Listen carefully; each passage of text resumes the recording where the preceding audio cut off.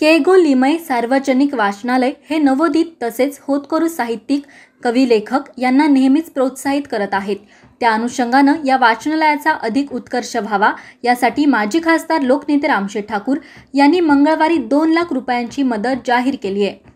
पनवेलच्या साहित्यिकांच्या वतीनं मराठी भाषा दिनानिमित्त आणि लोकनेते रामशेठ ठाकूर यांच्या सत्तरव्या वाढदिवसानिमित्त पनवेलमधील साहित्यिकांची सत्तर पुस्तके माजी खासदार लोकनेते रामशेठ ठाकूर यांच्या हस्ते केगो लिमय वाचनालयाला भेट देण्यात आली आहे.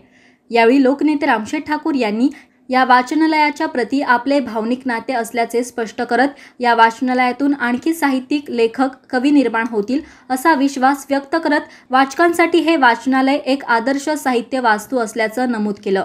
या कार्यक्रमास सुप्रसिद्ध गझलकार ए के शेख कोकण मराठी साहित्य परिषद नवीन पनवेल शाखेचे अध्यक्ष गणेश कोळी साहित्यिक चंद्रकांत मडवी ज्योत्स्ना राजपूत गणेश म्हात्रे रामदास गायधने नाट्य परिषदेच्या नियामक मंडळाचे सदस्य श्याम पुंडे भाजपचे माजी तालुका अध्यक्ष महेंद्र पाटील केगोलिमय सार्वजनिक वाचनालयाच्या सहचिटणीस जयश्री शेट्टे ग्रंथपाल निकिता शिंदे पत्रकार रमेश भोळे सुमंत नलावडे लक्ष्मण ठाकूर यांच्यासह मान्यवर उपस्थित होते.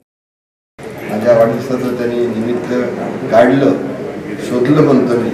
त्या त्यांनी एक त्यांच्या मनात जे चांगलं काम करायचं होतं ते काम त्यांनी केलंय. आणि त्या दृष्टीनं तुम्हाला सर्वांनी मनापासून धन्यवाद देतो. तुमच्या सर्वांचं मनापासून अभिनंदन करतो. एक छान असं आपण काय करतो वह्या वाटतो पुस्तकं वाटतो विद्यार्थ्यांना वाटतो.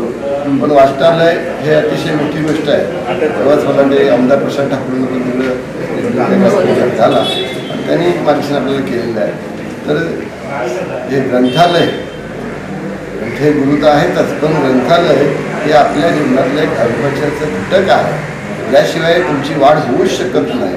आणि अशा दृष्टीनं ग्रंथालयाच्या करता साहित्यिक आणि ग्रंथालय ह्या तुटचं नातं आहे. आणि त्याच्यामुळं ह्या अतूट नात्यामधून तुम्ही जे करताय ते नक्कीच काम चांगलं आहे. की. गे लिव्हिओ सार्वजनिक वाचनालय हे अतिशय जुनं असं पनवेलमधील सर्वात जुनं असं एक वाचनालय आहे. या वाचनालयाबद्दल बोलत तितके थोडंच. म्हणजे आम्ही शाळेत असताना हायस्कूलमध्ये असताना वगैरे तर त्यावेळेला आम्हाला एकच आकर्षण असायचं ते म्हणजे केवळ वाचनालय. हे मी आपल्या विद्यालयात कॉलेजमध्ये जी वाचनालय असली ते सार्वजनिक वाचनालयामध्ये त्या वाचनालयाचं नाव जे आहे ते अतिशय मोठं आहे. तुम्ही शे दोनशे पुस्तकं साहित्यिक म्हणून घेत आहे मी माझे दोन लाख रुपये त्यांना त्यांच्या केबुलला